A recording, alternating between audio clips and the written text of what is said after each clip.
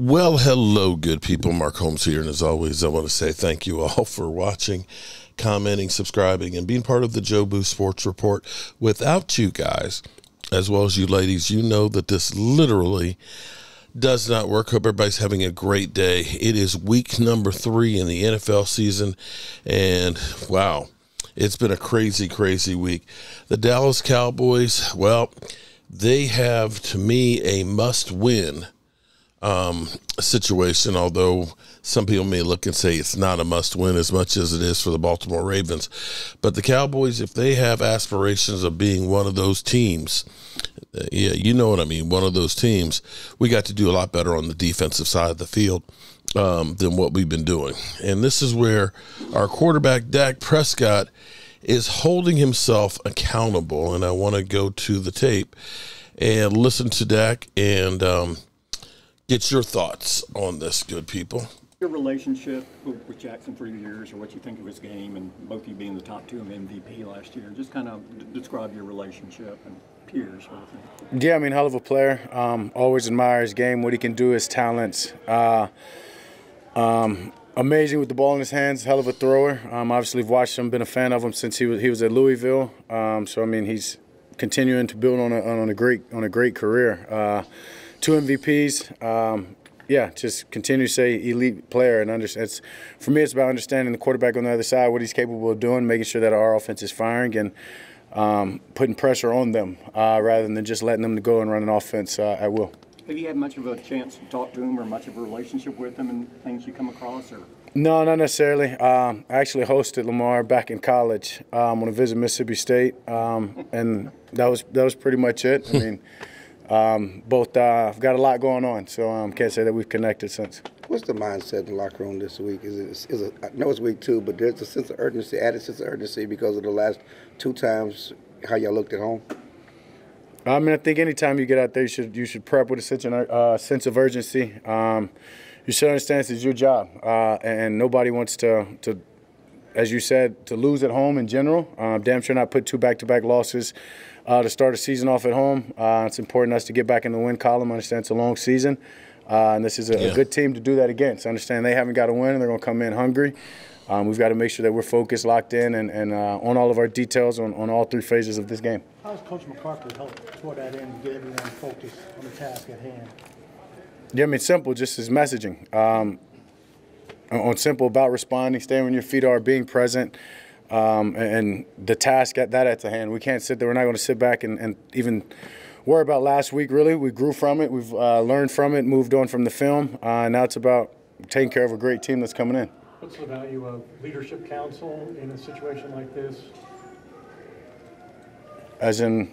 You're, don't you have a leadership council that met this week? Value of yeah. What do you Mike mean? Was, Mike was just talking about it. I mean, what what can that do in terms of sending the right messages out to the locker room? We've just got to go out there and, play our, play our best. I mean, it's week it's week three. Um, I mentioned I mentioned it after the game uh, to you guys. Right, it's about a process, and, and we can't get overwhelmed. Excuse me, we can't get overwhelmed in, in what people are writing about us. It, it's simply a process that we've got to focus on getting better each and every day um, with the right attitude that we come in here and understand that we're trying to put the best versions of ourselves on the field each and every Sunday, regardless of what's happened the last Sunday. It's the NFL. You talk about it was a tough game and everything. What what part uh, do you take the most joy in in weeks like this, um, in, in, the ability to respond and things like that? This game brings me a lot of joy. Honestly, anytime that I'm out there on the practice field, the commitment uh, to the preparation um, that I have, that the guys that have, the shared commitment. Um, it's the ultimate team sport, and, and, and you've got to make sure that you're doing your part uh, and and helping helping each other to do their part, playing complementary ball, um, being there for a teammate maybe in his preparation if he needs it, um, and then just being your best on Sunday uh, and playing your part. You said you felt like you, are seeing the game well. That's what you said Sunday after the game. How, how, how do you feel about where the passing game is at and how close it is to taking that next step you wanted to? Yeah, it's close. Um, definitely. Um, that, we're, we're looking to take that next step. Definitely some plays left out there once again. Um, but in the, the day, yeah, I'm seeing it well. Guys are, are, doing what we're supposed to be doing. We can be better, a little bit better in depth. I can be a little bit more accurate on some throws. Um, we can we can hold some windows longer. I can anticipate a little bit better, uh, and I think once once we get that going, a little bit more, I think that's where the red zone would just take off. Uh, as I said, we are able to move the ball last week. Um, touchdowns were, were, the problem. Not getting the touchdowns were the problem, and settling for field goals. So I just think, especially in that red zone, being able to hold those windows, me being able to anticipate, um, then the touchdowns come, and then we're going to be fine. Two high safety looks have never been higher in the NFL than they are right now. Why do you think that is, and how, as a quarterback, do you combat that? Uh, I mean, I think it's great quarterback play going on right now. Um, great receiver play, I really mm-hmm. should say, as, as, much as anything. Guys are, are beating man to man. Um, so, so with that, right, you're just want to put a lid on it, making teams go the distance of the field, making them be patient. Uh, understanding that with the two high two high shell, right, you, you you can keep it all in front of you a little bit more. Um, so so for us as quarterbacks, right, it's about anticipation. It's about the, the receivers their breaking point, holding those windows, allowing us to uh, to make those throws in those spots, and just understanding where the dead zones are in in, uh, in the coverage. CeeDee spoke about how he's knocking off some rust with you that might have been addressed in training camp. Where you you talked mm-hmm. about helping teammates with their process, with him and his process of you guys getting back to form.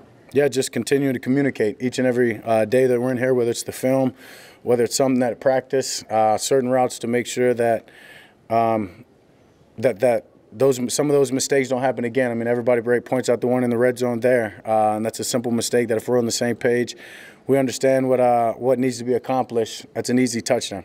Yeah, on the broadcast, Tom Brady said that you know after Brooks slipped on the interception, he might not go back to a receiver in that situation, but you did, and you kind of you know reaffirmed your confidence in Jalen on Monday in a meeting as well. What's your thought process in, in kind of coming back from a mistake like that for a receiver? my thought process? And, and how you approach yeah just understanding to just keep the guy's head up. Uh, we're going to need him. Um, as great as that sounds uh, yeah you're going to turn your back on a guy. That's not realistic. It's it's, it's his ultimate team game. That's what i just alluded to. If uh, being being there to pick up a guy, I told I told him, hell, I'm gonna miss some. I may miss some throws, and there's gonna be a ball that probably unfortunately slips out of my hand, or don't put it where mm-hmm. I want to put it, and it turns into an interception. Does that mean oh you're gonna give up on your route uh, next time? No, absolutely not. So um, yeah, I mean I'm gonna go back to the guy, trust that guy. He's put in a lot of hard work. Um, he's a young player. He's building. He's growing. Uh, for me, it's about making sure that he doesn't get down on himself. How much Back in camp, McCarthy. How much empathy do you have on young quarterbacks that struggle? In Carolina, Bryce Young's getting a lot of heat, got benched. You've been there a little bit. Yeah. Uh, benched? no, damn sure tough time, especially especially here uh, with you guys. Uh, probably the toughest time is reading or listening to what y'all say. Um, but understanding that uh, you, you you you you're writing your story. He's writing the story. It's a young player, um, and when I say this is an ultimate team game, we're sometimes as good as the guys that are blocking for us and making catches as well. And and and to be frank, calling the plays. Uh, so so that's not a one. I haven't watched any of their, their plays or the games other than uh, I guess the first one breaking down the Saints really, but I can say that's not a one man problem. Um, and, and, so for him, it's about understanding that control what you control, continue to prepare, uh, continue to study hard. Um, and yeah, keep your head up. He's a, he's a young player. I mean, I've seen tons of guys, right, switch switch systems, uh, switch coaches, whatever it may be, and uh, really start to shine. So um, yeah, it's about really just knowing that you, if you've got, he's gotten to this point by playing a lot of great ball in his career, mm-hmm. and that didn't just go away overnight. So so stay true to it. How's Jake looked, and how much Come on, man. Jake, oh, Jake would be awesome. He's looked great. Uh, he looked great last week. I thought he was going to. Well, you tried me last week, too. Uh, yeah, I mean, I, I think if, um, you know, it was a, a, different game last week, more important game later in the season type deal, that Jake probably could have went then. Um, but but he's obviously been out there. He looks good. Um, yeah, so, so yeah. Back, back. in August, uh, McCarthy talked about how if there's any criticism he might have of you, it's that you do too much work on top of the normal workload with the leadership part, how have you learned to maybe not take too much upon yourself? It's hard. Um, it's a line that I'm always balancing, honestly. Uh, yeah, it's a fine line. Um, understanding, as I've said over and over, it's a team game, right? And I'm wanting to make sure that, that my brothers are doing what they're supposed to be doing, uh, holding them accountable, um, holding myself accountable first, but then wanting to hold them accountable. Uh, sometimes it's frustrating. Uh, but but so that that's where it's a fine line. Is at the end of the day, I can't allow that to frustrate me, change my game, allow me to press within a game, um, and you just got to stay true to it. Whether it's my side of the ball, other side of the ball, or, or just something in the locker room. Um, it's a fine line, but uh, I'm, I'm gonna keep keep uh, what do you say, walking it. Hey, Dak, what gives you confidence that you guys can run the ball more effectively? And Yeah. are there situations where you can use your legs more effectively? Yeah, for sure. I mean, I, I think I said that um, after the game, maybe that, right? Uh, me, me, me scrambling a little bit more, going to get some plays, whether it be for a couple of yards, staying out of negative yards, um, scrambling, making some stuff happen down the field after getting out of the pocket um, has been huge for us in the past. So, so I can't get away from that. And honestly, that just opens up everything else. And then the run game just getting guys all on the same page. Under, the backs have to understand that that the linemen are going for a certain aim and point. It's their job, just as it is for me in the passing game and the receivers is to hold windows and, and to know where the breaking point is. Uh, it's no difference in the run game. So um, it, it takes all 11. And I think the receivers would say, hey, they need to block outside a little bit more or better or um, whatever it takes. But uh, a lot of confidence in who we have. Um, you're, you're talking about a couple all pros up, up front with some some great young players and backs who uh, backs who can do it. So um, it'll get going for sure. You mentioned continuing to trust Jalen. Can you talk about being the leader of the offense and making sure that your group continues to trust the defense after a tough outing so that y'all don't try to do too much?